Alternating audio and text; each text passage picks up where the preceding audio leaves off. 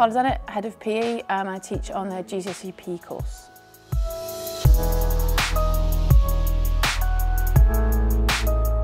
Um, it develops two areas, practical area, um, which students will continue to develop their skills and their decision making, um, much as they have done throughout Key Stage 3. And the second area is they'll develop their knowledge with regards to theory, and the course is 60% uh, theoretical. Um, so areas such as anatomy and physiology, movement analysis, um, physical training, sports psychology, sociology. So there's a lot of areas within that which students will develop their knowledge.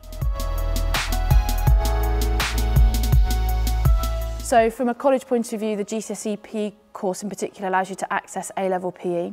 Um, it also allows a lot of students go, do go on to study on the BTEC course through having studied the GCSE at Uffculme.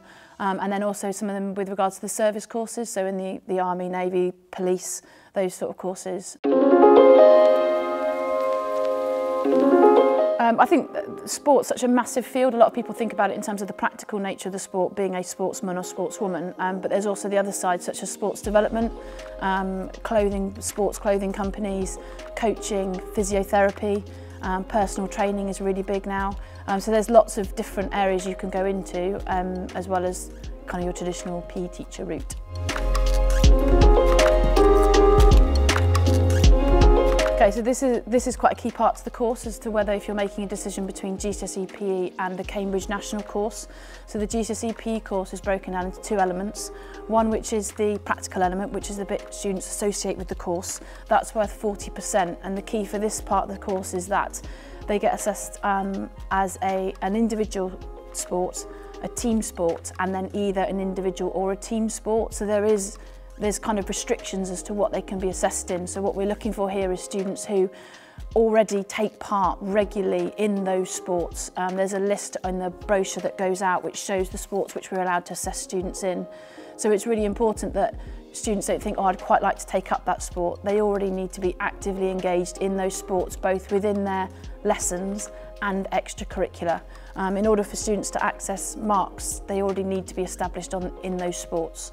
Um, so the, the list is quite big. There's also, you notice on the list, activities that students won't have accessed in PE. So things like we've assessed students in the past in golf, swimming, horse riding, um, gymnastics, Um, all of these activities, though, the students, they don't just choose to take part in them once they get to Key Stage 4. They are already actively engaged in those sports, taking part not just um, as a recreational level, they are all competing in those sports.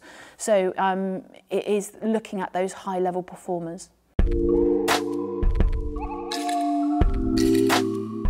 So the Cambridge National course um, is a little bit different because students in the way in which students are assessed.